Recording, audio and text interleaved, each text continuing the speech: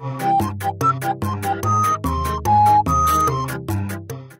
und herzlich willkommen zu einem neuen Video von DIY Eule. Ich bin Nasja und heute zeige ich euch mal wieder eine ganz super einfache Anleitung, die total schnell geht. Und zwar zeige ich euch, wie ihr so ein kleines süßes Portemonnaie näht. So eine ähnliche Anleitung hatte ich ja schon mal ähm, mit Plane. Und auch heute geht es um ein ganz besonderes Material. Und zwar ist das brandneu von Snappy und zwar ist das die Snap Cap. Ähm, das sieht quasi aus wie Pappe. Ähm, ist bezeichnet als Vegan Leather, also veganes Leder. Und äh, ist ein irres Material. Also hier habe ich es ja vernäht. Und man kann das halt total krass knautschen. Und das hat wirklich, durch dieses Knautschen kriegt das so eine Struktur wie Leder. Äh, man kann es super vernähen, man kann es waschen. Es ist sehr strapazierfähig.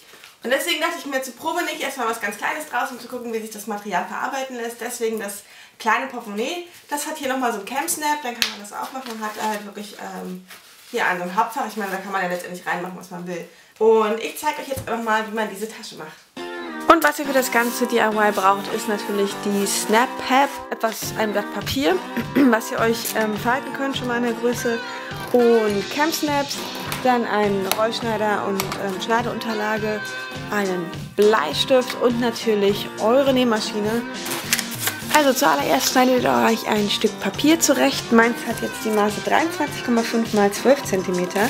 Das sieht dann nachher so aus, wenn ich mich zusammenklappe. So habe ich mir das quasi überlegt. Ähm, hier kommt dann der Camp Snap drauf. Und genau, das schneide ich mir jetzt einfach aus dem ähm, aus der Snap Pad zu.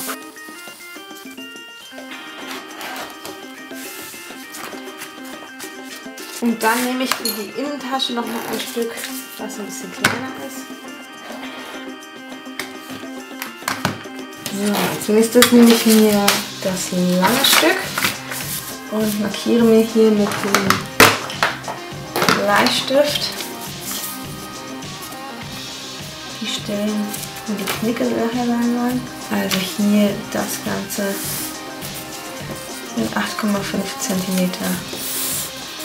Und das auch nochmal 8,5 cm.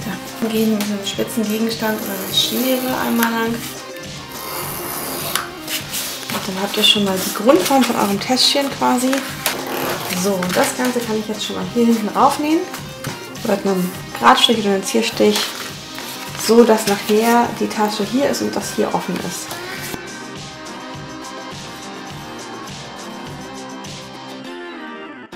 Kleiner Tipp für euch, wenn bei euch sich der Faden hier so ein bisschen komisch spannt, und das Ganze so aussieht, müsst ihr ein bisschen mit der Unterfadenspannung rumexperimentieren. Ich habe das jetzt hier gemacht, mit einem Stück einfach, bis das halt, äh, hier war es noch nicht so gut und hier wurde es dann gut.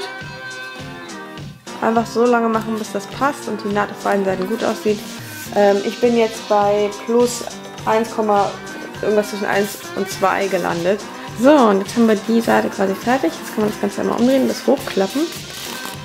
Und jetzt nähe ich einmal hier und einmal hier entlang und habe quasi dann den Klappmechanismus gemacht. Muss mir aber vorher schon mal markieren, wo der Camp Snap hin soll und kann den auch schon mal setzen. Jetzt in der Mitte eine Markierung. Und schiebe mir hier vorsichtig die Ahne durch, so dass ich sie aber nicht hinten durchschiebe, sondern nur durch die zwei Lagen.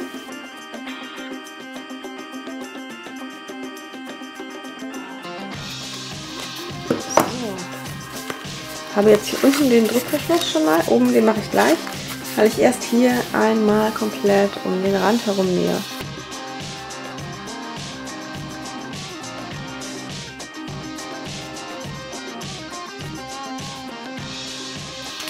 So, so sieht das jetzt aus. Von vorne und von hinten. So, und jetzt kommt natürlich noch der Cam Snap. Das heißt, hier setze ich wieder das beiden Gegenteile an.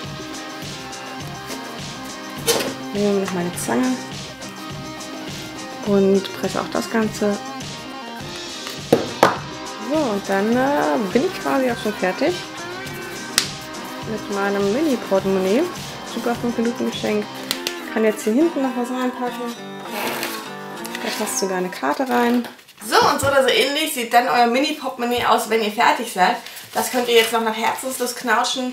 Wenn ihr diesen Ledereffekt richtig stark haben wollt, empfiehlt sich das Ganze vorher zu knautschen. Also ihr schneidet das zu und dann, ganz, dann knautscht ihr das richtig schön durch und dann ähm, sieht das schön ähm, ledern aus. Aber das Ganze, wenn ihr das eine Weile benutzt, ähm, hat den gleichen Effekt.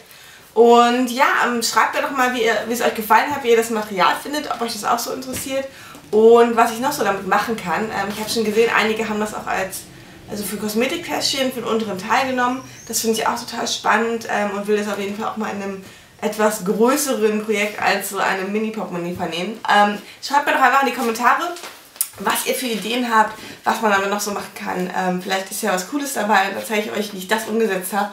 Und lasst mir einen Daumen nach oben da, wenn es euch gefallen hat.